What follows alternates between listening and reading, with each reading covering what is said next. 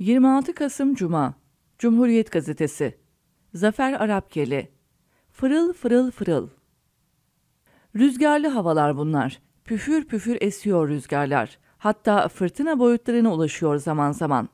Ama meteorolojik kökenli bir rüzgar değil bu. Fırıldaklardan, rüzgar güllerinden kaynaklanan yoğun hava akımlarından söz ediyorum.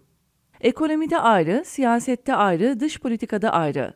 Dönüşler, geri dönüşler, geri geri dönüşler, sürekli bir manevra hali. Amerika ile ilişkilerde, Rusya ile ilişkilerde, Suriye politikasında, Libya politikasında, Kıbrıs'ta, Avrupa Birliği ile ilişkilerde.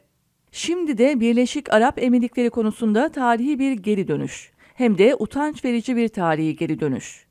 Ağlak vaizin hain asker kılıklı piyonlarının gerçekleştirdiği 15 Temmuz gecesinde hayatını kaybeden 250 insanımızın mezarlarına ve yaralanan insanlarımızın suratına suratına esen bir utanç rüzgarı ve geri dönüşten söz ediyorum.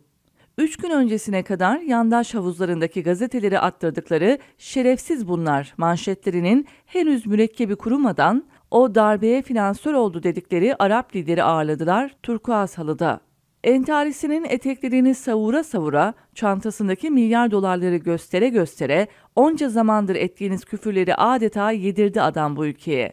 Yani Prens Nahyan'ı elinde dolar dolu bavulla gönderen otorite, namı diğer dış mihrak, size nanik yaparcasına bırakın finansörlük muhabbetini, şimdi de biraz size finansör olayım, öptüm canım diyerek dalga geçiyor adamlar.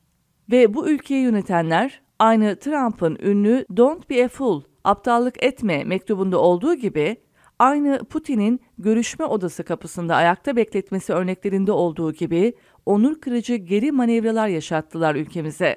Hani itibardan tasarruf olmaz diyordunuz ya, hani itibarımızı Glasgow'a gidecek konvoydaki araç sayısıyla ölçmeye kalkıştınız ya.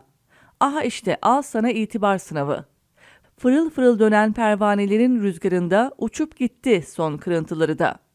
Kişisel itibarınız söz konusu olsa kendi paşa keyfiniz bilir, ne isterseniz yapın. Ama faturasının gelecek nesillerin ödeyeceği, onların hanesine yazılacak bir devlet millet itibarı erozyonundan söz ediyoruz. Yazık değil mi?